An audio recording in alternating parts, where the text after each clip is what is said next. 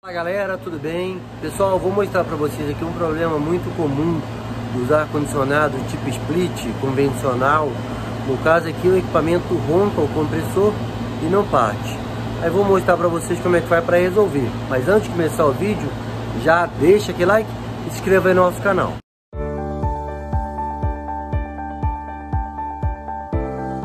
Aqui pessoal, o equipamento convencional de 36 mil BTUs e o que que estava acontecendo aqui no equipamento? É, ligava lá o equipamento e ele dava erro EC. Aí eu vim aqui ver, aqui fora, e ele não estava partindo o compressor. Aqui ó, fica um capacitor de partida. E o capacitor estava é, com problema. Para saber que ele está com problema, você precisa testar ele com um capacímetro. Mas visualmente você já consegue ver quando ele dá uma estufada. Não sei se vai aparecer no vídeo, mas ele está meio estufado aqui, ó, e embaixo também. Geralmente quando ele estufa assim, já é sinal de defeito. Aí eu vou mostrar com o capacete como faz, ó. Ele Aí você pega e coloca os dois lados. E aí você vai ligar aqui, ó, em 200 no caso. E aqui, ó, tá zerado. É meio ruim a tela, aí vou segurar aqui. Tá dando zerado. Aí eu comprei um novo,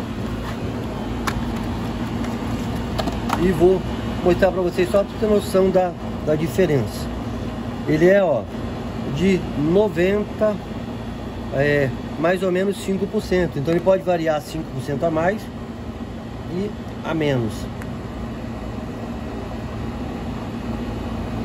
Aí, dá 90.4. Então, o problema aqui é essa peça.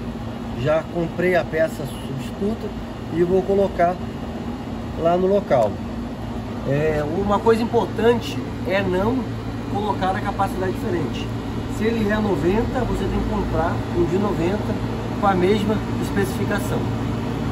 Para montar aqui não tem erro, soltei esse parafuso, tirei, agora coloquei de volta, apertei aqui e aí são dois fios, você conecta um de um lado, o outro do outro e agora o equipamento já vai funcionar certinho o compressor.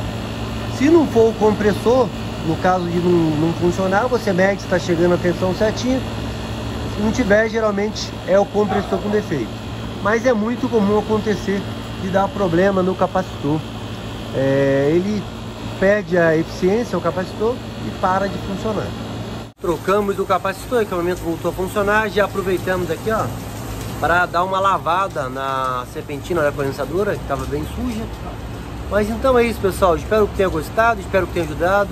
Se você gostou do vídeo, deixa aquele like, inscreva aí no nosso canal. Obrigado, pessoal. Até mais.